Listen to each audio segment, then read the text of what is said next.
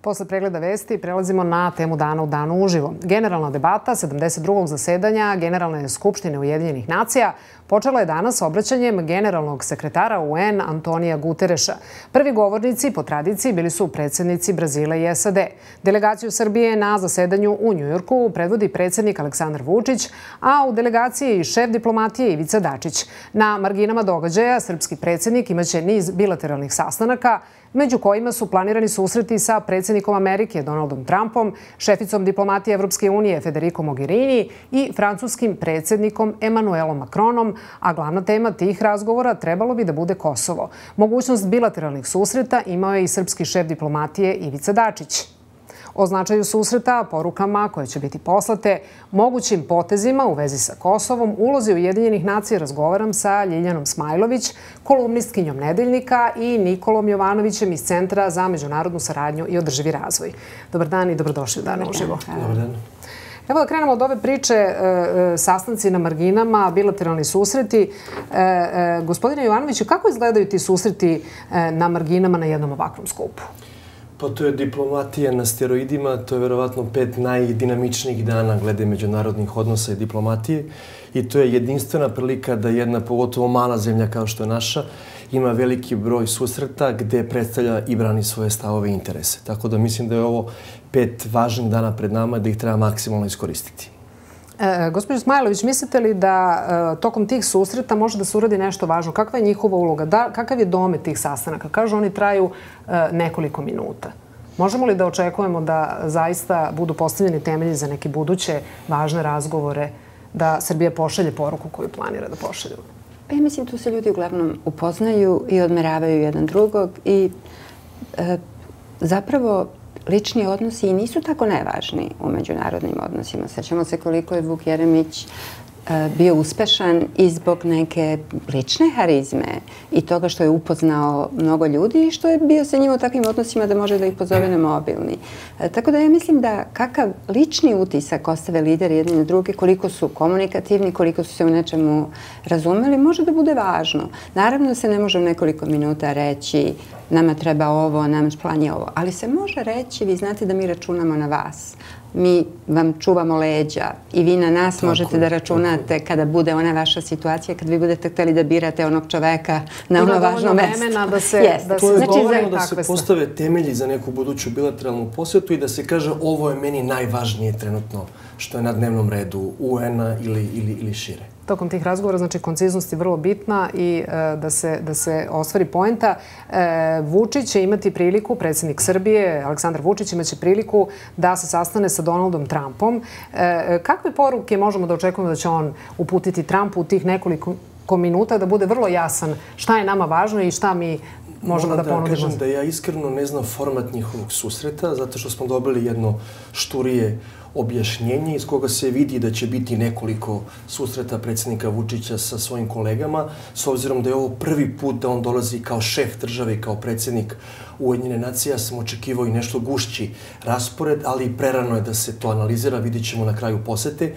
Um, predsjednik Trump, predsjednik Amerike, uvijek organizuje prijem za sve goste koji dođu na generalnu skupštinu. I taj prijem se dešava u obližnjem hotelu pored UN-a i tu bukvalno sve zvanice imaju priliku da se slikaju i da se pozdrave sa predsjednikom SAD. Tako da, ako je to u pitanju, to zaista nije prilika da se bilo šta bitno kaže i to se ne može nazvati susretom. To je čisto protokolarni prijem koji se priliči svake godine. Ja se nadam da je nešto više od toga, ali nemam elemenata za zaključenje. Mhm. Ukoliko bude bilo prilike da, e, da se predsjednik Vučić ipak e, sastane sa Trumpom na kratko i izgovori nešto što je veoma važno za Srbiju, šta bi to trebalo da bude po vašem mišljenju? Pa mi imamo jednu temu koja je na dnevnom redu Saveta bezbednosti, to je status Kosova i Metohije. Ja se nadam da će on iskoristiti priliku da pomene to pitanje i da traži podršku da se u dijalogu reše sva sporna pitanja, da se ne donose unilateralne mere. Mhm. Gospodin Smajlović, šta vi mislite? Koje su poruke ključne u ovom trenutku kada je reč o Kosovu, a koje bi predsjednik Vučić trebalo da uputi američkom predsjedniku i da očekuje da možda najđe na razumevanje. Pa vidite, i Vučić kao i nas troje ovde znamo da su Amerikancima bliži Albanci, da su oni bili njihovi stvarni saveznici i da su Amerikanci zapravo tu u regionu zastupali neke ljude koji su sa nama bili u bratu ili su nam bili protivnici. Sad sa njima zarađujemo. Znači mi krećemo tu e, iz neke pozicije koja je hendikepirana. Međutim, e, Srbija je važna zemlja u regionu i šta god da se dešava, važno je kako će Srbija da bude.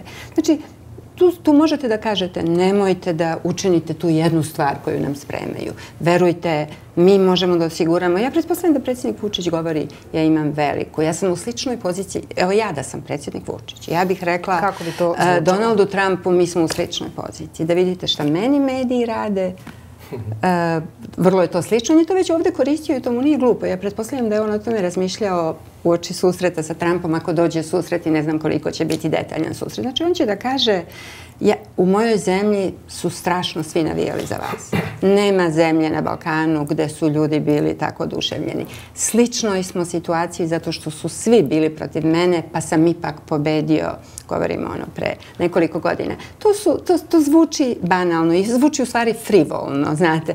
Ali zapravo za neko uspostavljanje nekih odnosa ja sam jak lider, uh, ti si jak lider, ja sam se usudio da idem protiv svih izgleda, a e, pobedio sam, mi se razumemo, to za prvi susret je više nego dobro. Ljiljo, vi ste spomenuli značaj lične hemije i dobrih odnosa.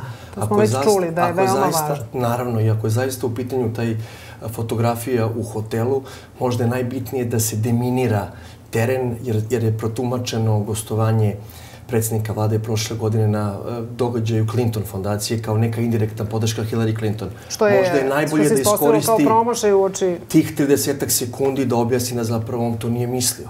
Ma ja sumnjam da je e Trump ima o tome pojma. Da je on tada bio... Da je Trump o tome razmišljao tokom predizborne kampanje i kasnije. Ima, ima ko će da mu javi. Nema Srbije samo prijatelji u svetu. E, pomenuli smo e, važnost o tome kako je izveštavano u medijima o Vučiću tokom predizborne kampanje, koliko je on išao uprko svima i u inat svemu. A evo šta je jedan potez koji je privukao veliku pažnju, kažu hit na društvenim mrežama. Juče nas je sve iznenadilo iznenadio ministar spoljnih poslova Srbije kada je iznenadio Donalda Trumpa. Pre jučerašnjeg pozdravnog govora Dačić je američkom predsjedniku prišao sa leđa i nešto pokazao. Naknadno je objasnio da je Trumpu u tom trenutku preneo da su Srbi najviše navijali za njega na predsjedničkim izborima u SAD, pokazavši mu fotokopije naslovnih strana svih srpskih novina kada je izabran za predsjednika SAD. Dodao je i da Srbija čeka Trumpa kao prvog američkog predsjednika posle Geralda Forda. Podsjetio je na poziv predsjednika Srbije Aleksandra Vučića Trumpu da posjeti Srbiju, a Trump je pitao da li Ana Ivanović i dalje igra tenis. E, moram da vas pitam pre nego što popričamo o ovom potezu da li je dobar ili nije dobar i da li iskače iz diplomatskih protokola.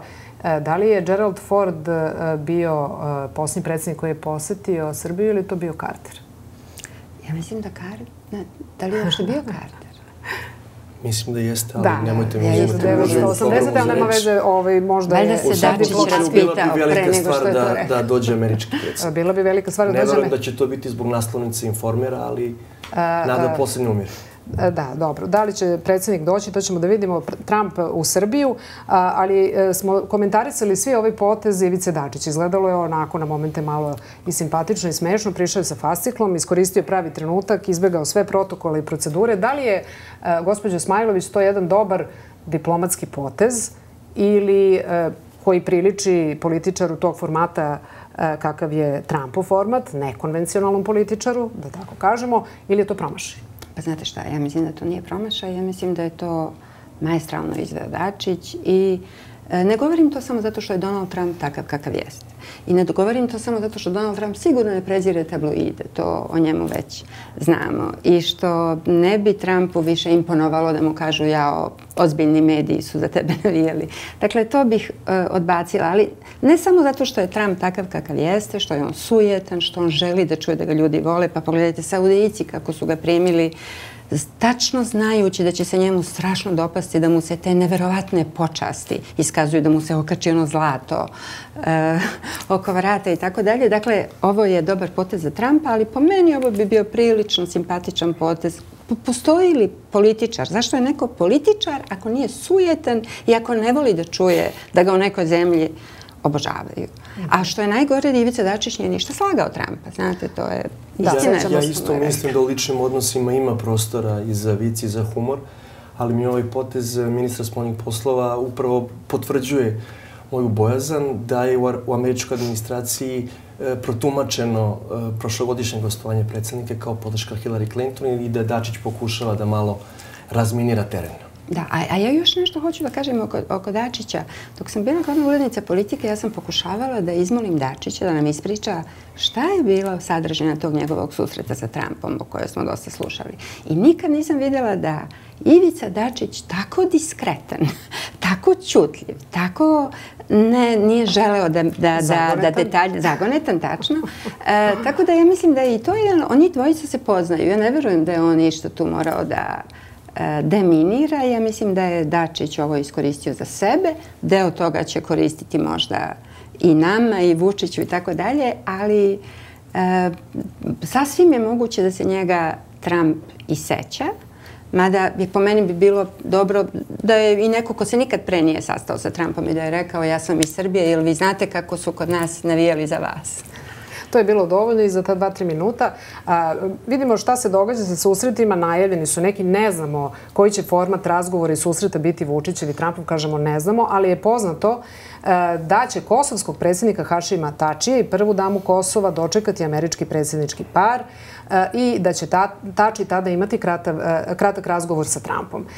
Kakvu poruku Beogradu šalje takav prijem i takav tretman e, e, za kosovske zvaničnike? Ja mislim da uvek imaju oni bolji prijem od nas. I mislim da je svaki put u generalnoj skupštini slično i da sa tim se računa u startu. Sa druge strane, E, pošto se sa tim računa u startu, da su to njihovi najbolji klijenti u regionu, može da bude dobro i što neka veća i važnija zemlja od e, Albanije, od samoproglašeno Kosova, E, pokušava da otvori ta vrata do Trumpa, a nema bagaž u odnosima sa Trumpom, bez obzira na odnose sa Clintonom. I mislim da su ti Albanci imali još bolje odnose sa Clintonovima nego Aleksandar Vučić i mnogo dugovečnije, tako da, da, je, da je to mana, to bi bila mana i za Tačija. Ali mi moramo da računamo sa tim. Oni su njihova glavna klijent, njihov glavni klijent, Albanci e, u regionu i sa tim to je prosto nešto sa čim počinješ tu e, simultanku, znači, a to si već uračunao. Polazna tačka nije baš povoljna za nas. S tim, što, s tim što ne znamo format ni tog susreta, možda i to čisto pozdrav u hotelu. najavljeno je kao kratak razgovor. Ali, ali ako razmislimo o tome da će ovi kratki susreti biti polazna tačka ili neka osnova za e, e, razgovore sa Trumpom o dijalogu Beograda i Prištine do kraja godine, kako je najavljeno, šta onda možemo e, da očekujemo od tih razgovora? Šta će tada e, Beogradu biti rečeno E, šta ćemo čuti od, od američke administracije i kakav će stav biti e, prema Kosovu? Pa vidite, to je zanimljivo. Ja zaista u ovom momentu uopšte ne znam da li, je, da li će predsjednik Srbije da kaže predsjedniku Amerike što bih ja voleo da se vi umešate da, u novu rundu rešavanja. uključivanje. Ja, ja zaista, I mene bi strašno iznenadilo da to Trumpa naročito impresionira. Njega detalji inače ne zanimaju, a još više bi me iznenadilo to čak i Nikki Haley zanima. Mhm. Ja e, nekako, sa jedne strane, znate, mislim da za nas e, možda bi bilo dobro da se Amerikanci uključe ako mi imamo neku računicu, ako na nešto računamo sa njima, ako mislimo da je bolje da su oni tu, ukoliko će e, neko, da ne bi bili Albanci ti koji ih informišu o, o, o, o razgovorima.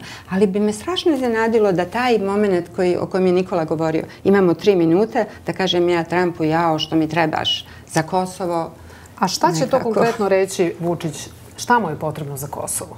Šta pa, mislite? To je misterija. Da. To je misterija zato što mi trenutno ne znamo kakav je stav naša administracija državnog vrha po pitanju Kosova najavljuje se Tanja neki unutrašnji dijalog, a da pozicija izvršne vlasti uopšte nije obelodanjena. Ne znamo da li na predsjednik Vučić poziva na razgovor o statusu Kosova. da li želi da prizna Kosovo, potpiše međudržavni sporazum sa Prištinom. Mi to ne znamo u ovom momentu. Da li, da li mislim da je to izvolite. najveći problem kad se ide na ovu diplomatiju na steroidima, da državni vrh ode i da tih pet dana iskor, ne iskoristi time što ima jasan i patriotski i odgovoran stav, već se šalju pomešani signali. Mislim da je to u suštini e, najopasnije za nas. Da, ja, ja ne bih strahovala od toga da stav nije patriotski, ali, na primjer, evo, ja, meni je potpuno jasno da za meni, meni se čini kao glavna opasnost ovo što se priča o tome da možda bi e, Kosovo moglo da se približi tom posmatračkom statusu.